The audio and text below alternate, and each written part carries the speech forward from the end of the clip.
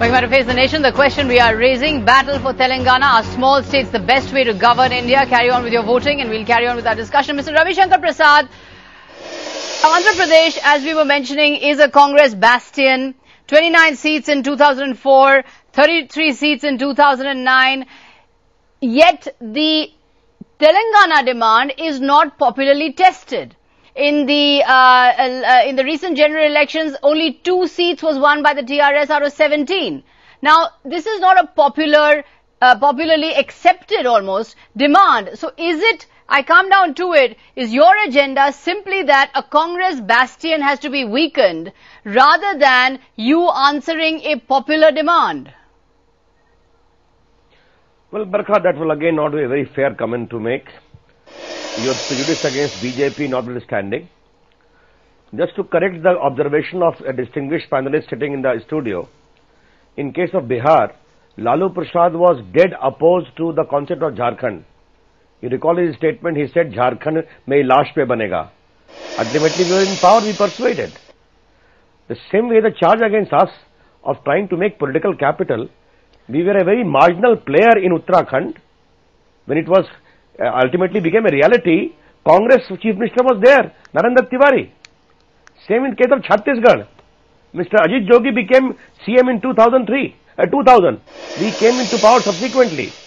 But your panelist is absolutely wrong in making that comment that strong, uh, small uh, states are not desirable from any point of view. Chhattisgarh is doing very well. But let's respond to the no, no. well. But let's respond to the identity uh, point. What uh, TSR Subramaniam is saying that this is going to lead to an epidemic of parochial identities. Now, linguistic has already been granted. Now it's going to become ethnic. Uh, every ethnic group will want its own state. Are you going to be the party that is in its support for small states is also going to support parochial demands for identity every, in every part of India?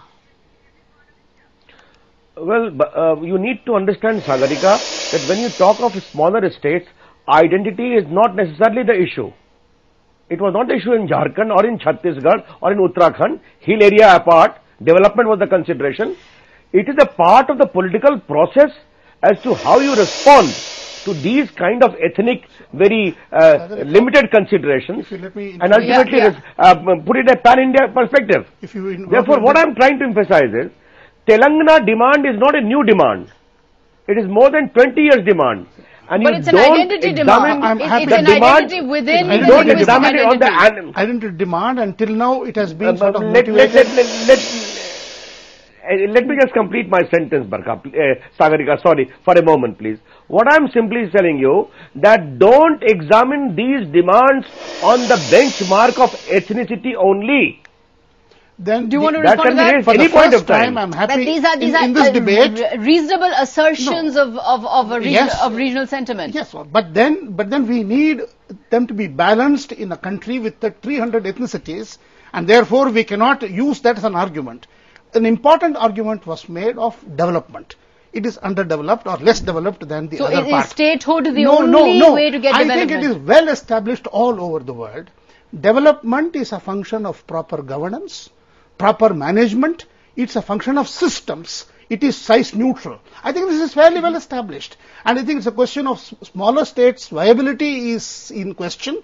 Their ability to raise taxation is under question. Mm-hmm. If it is underdeveloped, there has been poor management. There has been, as is endemic probably in many parts of India. There are so many other factors. Mm-hmm. Just becoming a state, sadly, I'm sorry, I have seen this from very close